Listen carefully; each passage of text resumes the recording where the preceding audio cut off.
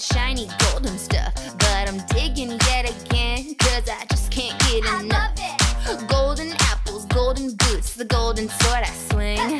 golden helmet, golden hoe, golden everything.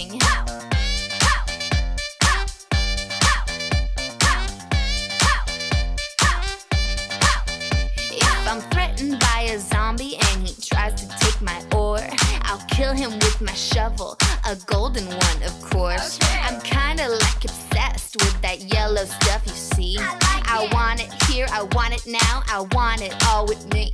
I'm digging in the caves and I'm digging all around. If there's a golden block down there, then it will soon be found. I'll take it to my mansion, my fortress to behold. You guessed it right, you win the prize. Of course, it's made of gold. Gold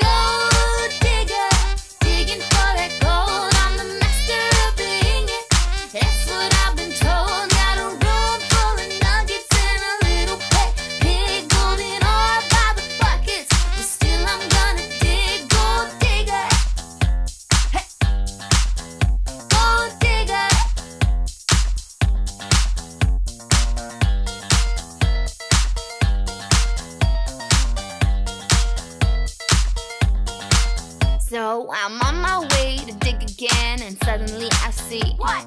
a zombie pigman up ahead, just behind that tree. Oh shit! He's probably got a nugget and a few more other items. Oh, yeah. It's gonna be an easy score. I guess I'll have to fight him.